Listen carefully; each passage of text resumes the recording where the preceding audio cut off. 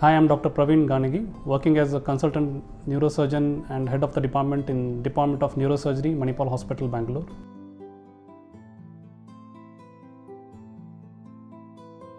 There are various conditions that can be treated with uh, endoscopic uh, neurosurgery.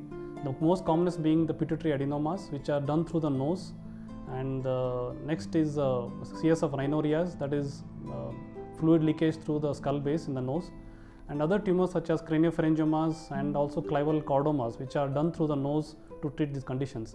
And the cranial conditions which can be treated through the endoscope are the hydrocephalus, aqueductal stenosis hydrocephalus, where small uh, cranial incision is done and through a small burr hole or opening in the skull, the hydrocephalus can be treated. And other commonest procedures is and hypertensive hematoma evacuation. People with high blood pressure have a basal ganglia hematoma where using endoscope, the hematoma can be evacuated in no time.